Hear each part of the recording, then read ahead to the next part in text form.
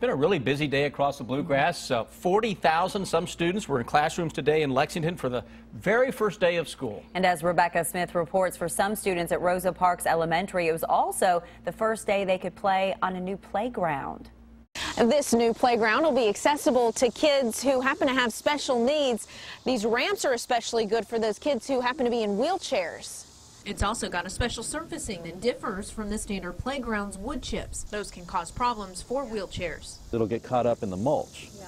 So you can't exactly just walk up, you know, on your own or, or, you know, wheel somebody up. There's also a sign language board and other features that make it handicap accessible. It's all about inclusivity, according to Mark Flores, whose own son is special needs. It's going to be as fun as, as any other playground equipment that you get, uh, except it's even better because now everybody can play on it. And there will be a special dedication here at Rosa Parks Elementary in Beaumont. That is Friday night at 6 o'clock.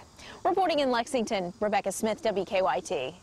That new playground cost $50,000 with money raised by the PTA. In addition to fundraising efforts from the community, they also received a $10,000 grant from the Christopher Reeve Foundation.